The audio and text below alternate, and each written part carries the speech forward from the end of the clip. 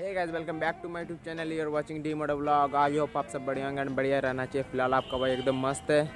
तो आज का ब्लॉग स्पेशल होने वाला है कि दो बाइक का कंपैरिजन होने वाला है, एक बुलेट का और अपनी आर वन एम बुलेट है क्लासिक 350 तो वो मेरे एक फ्रेंड का है तो वो करीबन दो साल से चला रहा है बुलेट तो एट मंथ हो गया यूज़ कर रहा हूँ। तो गाइज़ दोनों ही बाइक बहुत बढ़िया है जब चलते कंपैरिजन पे। तो गाइज़ इससे पहले मैं बता देता हूँ, पिछले वाले ब्लॉग में सबसे पहला कमेंट किसका था? तो गाइज़ सबसे पहला कमेंट था विवेक विश्वास का और सेकंड कमेंट था ब्लॉगर वैभव रॉय का और थर्ड कमेंट था खानपुरी के blogs. Thank you so much आप तीनों का सबसे पहले कमेंट करने के लिए। ऐसे ही सबसे पहले कमेंट करते रहो। आप सभी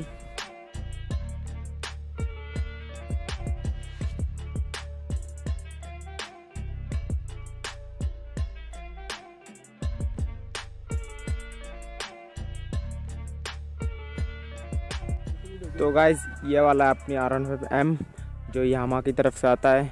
और यह है रॉयल एनफील्ड क्लासिक 350 जो रॉयल इनफील्ड की तरफ़ से आता है। तो इस बाइक को करीबन मेरा फ्रेंड दो या तीन साल से चला रहा है। और आर वन फाइव एम मेरे को एट मंथ हो गया यूज़ कर रहा हूँ।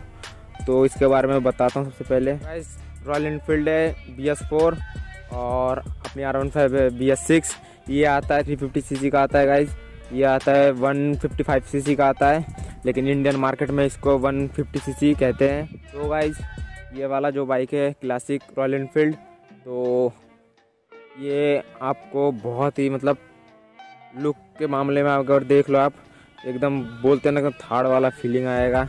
जैसे कि आप वी हो तो वैसे वाला फीलिंग आएगा। इस बाइक पे अगर आप बैठोगे, चलाओगे, और इसका जो साउंड है वो एक नंबर है। बाद में सुनाता हूँ। और इस बाइक का अगर बात करें तो इस पर देखो गाइज़ लोग अगर इसको चलाते हैं तो सभी गलत ही समझते हैं। जैसे कि आप लड़की नहीं पटाने जाते हो, लेकिन अगर इस बाइक को आप लेके निकल गए तो आप सब, सभी को सब बोलेंगे कि नहीं, आप लड़की पटाने जा रहे हो, जबकि जबकि आपको कोई मकसद नहीं है। बस समझो कि ये छपरी टाइप का बाइक होता है, छपरी टाइप का होता है के हो गया, या कोई भी फेयरिंग बाइक हो गया। तो उसको सब यही समझते हैं कि भाई, ये बाइक जो है, जो भी यूज़ करता है, वो छपरी कहलाता है ज़्यादातर, मेरे ख्याल से। ब्रेकिंग की बात करूँ गाइज़ तो ब्रेकिंग में जीत जाएगा गाइज़ आर वन फाइव क्योंकि इस पर dual channel A B S है, और इसका ब्रेकिंग इससे मुकाबले में इसका ब्रेकिंग बहुत ज़्यादा बढ़िया लगा मेरे को, और इसका भी सही है, लेकिन इसके मुकाबले ये बेटर है। मैं ये कह सकता हूँ कि इसके मुकाबले ये बेटर है ब्रेकिंग के मामले में, और ये भी आता है डुअल चैनल ए में, और ये बाइक भी आता है डुअल चैनल ए में। तो वैसे अगर प्राइस की बात करें रॉयल एनफील्ड आता है 180 का, और आर वन फाइव एम आता है 240 का। तो ज़मीन आसमान का फ़र्क है दोनों बाइक में, जबकि इसका सीसी ज़्यादा है, इसका सीसी कम है। तो ये एक नेगेटिव पॉइंट हो गया। स्पीडोमीटर में एबीएस का आता है ए का लाइट आता है एंड फ्यूल का लाइट आता है, और न्यूट्रल का, और डिपर और इंडिकेटर का लाइट आता है। जो इस स्पीडोमीटर बहुत सही है।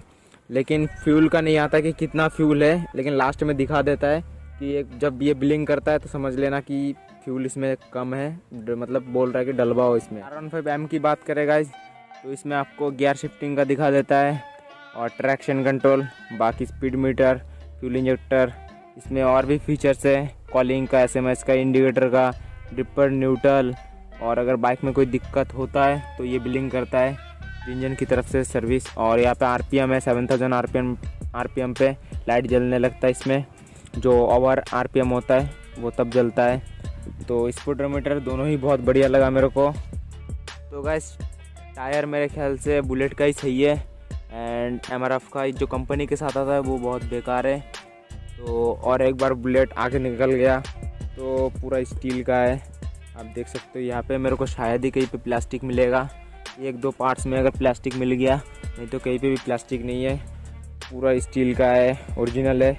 और अपनी आर वन फाइव एम का बात करूँ तो गाइज़ इस पर तो पूरा प्लास्टिक ही प्लास्टिक है, फाइबर ही फाइबर है। ये अगर गिर गया तो समझो ख़त्म है पूरा। लेकिन अगर बुलेट एक बार गिर गया तो बचने का चांस है फुल टू फुल चांस है।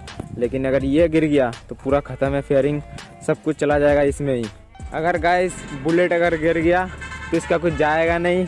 अगर ये बाइक गिर गया तो इसका कुछ रहेगा नहीं, वही सीन हो गया। अगर गाइस सीट की बात करें दोनों बाइक का तो ये बिल्कुल भी कंफर्ट नहीं है।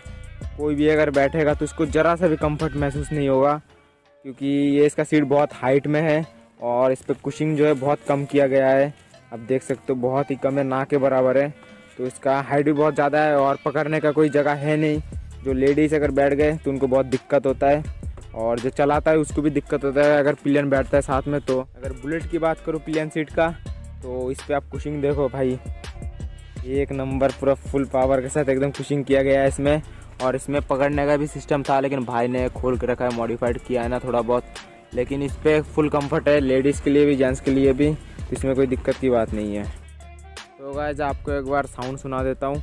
इसमें भी आफ्टर मार्केट एग्जॉस्ट लगा है और इसमें भी आफ्टर मार्केट एग्जॉस्ट लगा है तो दोनों बाइक का एक बार आप साउंड सुन लो।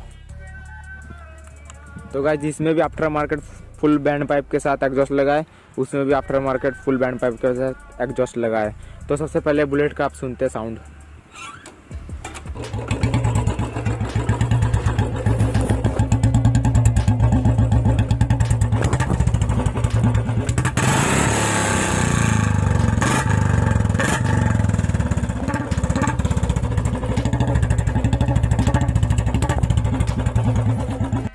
तो बुलेट का साउंड आपने सुन लिया।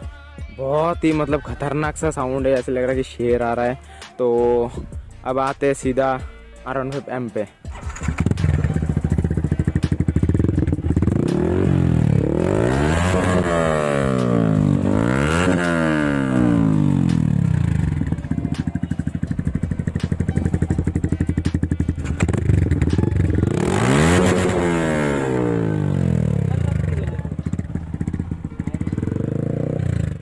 तो गैस दोनों बाइक का आपने साउंड सुन लिया। दोनों बाइक का साउंड ही लाजवाब है। तो ये ज़्यादा मतलब ज़्यादा लाउड है ये बुलेट बुलेट का साउंड ज़्यादा ही लाउड होता है हमेशा, क्योंकि इसका गैस इंजन ही आप देखो कि बुलेट का बुलेट पहचाना जाता है साउंड से। और ये बाइक का तो एकदम नॉर्मली समझो, जो स्टॉक आता है, एकदम नॉर्मली साउंड है। बट मैंने आफ्टर मार्केट एग्जॉस्ट लगाया इस इस चक्कर में थोड़ा बहुत साउंड करता है। लेकिन बुलेट के सामने ये बाइक फीका है एकदम।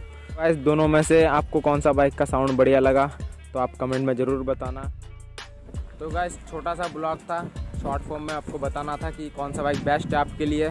तो मेरे अकॉर्डिंग आपको अगर फेयरिंग बाइक चाहिए और आपके घर में लेडीज़ नहीं है, आप अकेले टूरिंग करते हो, अकेले घूमने जाते हो तो आपका बजट अच्छा खासा है तो आप आर वन फाइव एम पे जा सकते हो। अगर आपका बजट थोड़ा कम है एंड थोड़ा हेवी बाइक चाहिए, जिसमें थोड़ा लोग देखे और जो आपको पर्सनैलिटी को बढ़ाए थोड़ा तो आप रॉयल एनफील्ड पे जा सकते हो, उसका बजट भी थोड़ा कम है और माइलेज भी सब कुछ सही है। तो दोनों में से आपको कौन सा बाइक पसंद लगा तो कमेंट में जाके बता दो आप। और चैनल पे नए तो चैनल को सब्सक्राइब करो लाइक करो शेयर करो कमेंट करो। तो ऐसे ब्लॉग लाते रहेंगे। तब तक मिलते सीधे नेक्स्ट वाले ब्लॉग में। तब तक के लिए बाय